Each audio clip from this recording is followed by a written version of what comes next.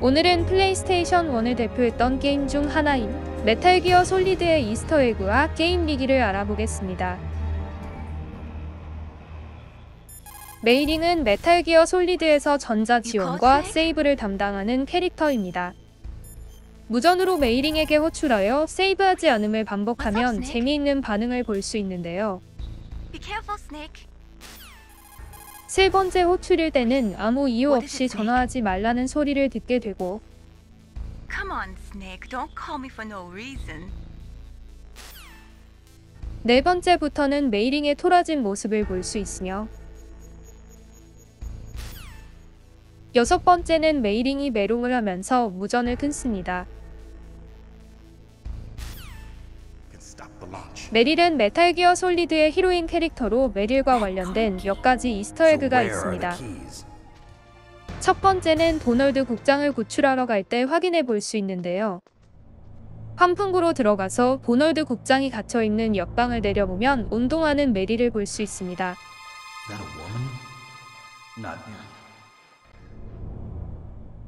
환풍구를 나갔다가 다시 들어가 메릴을 지켜보면 다른 운동을 하고 있는데요.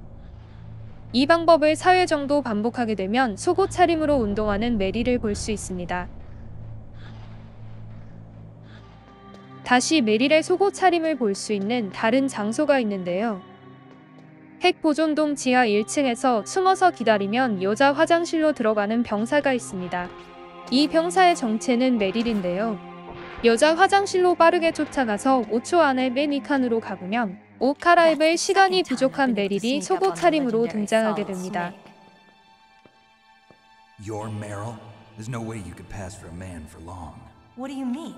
Hey, men aren't allowed in here. I had no idea. 두 번째는 1인칭 시점으로 메릴을 계속 쳐다보고 있으며 메릴이 부끄러워하면서 몸이 점점 빨개지는 걸 볼 수 있습니다.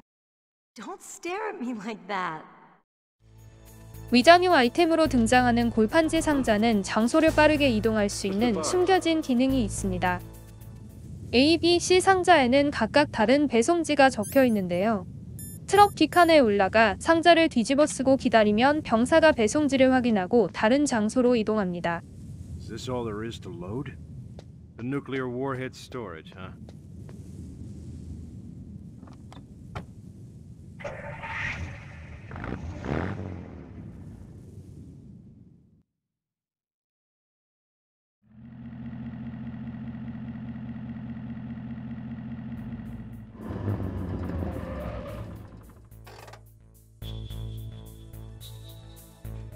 두 번째는 지하 동굴을 이동할 때 늑대개에게 공격받지 않는 방법입니다. 메릴과 늑대개가 함께 있을 때 메릴을 공격하고 상자를 뒤집어 쓰고 있으면 늑대개가 상자에 오줌을 싸는데요. 이제 소변이 묻은 상자를 쓰고 다니면 늑대개에게 공격을 받지 않습니다. 게임을 클리어하면 특전으로 카메라 아이템을 받을 수 있는데요.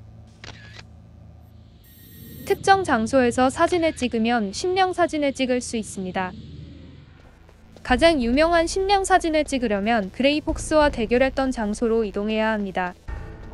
연구실에 도착하면 벽에 걸린 로봇 그림을 찾아서 사진을 찍습니다. 게임을 리셋시켜 special 메뉴에서 사진을 확인해보면 게임 개발자인 코지마 히데오가 찍힌 심령 사진을 확인해 볼 수 있습니다. 게임 중에 숨겨져 있는 심령 사진은 40가지가 넘는다고 하니 심령 사진 Easter egg에 관심 있는 분은 직접 확인해 보시는 것도 좋을 것 같습니다.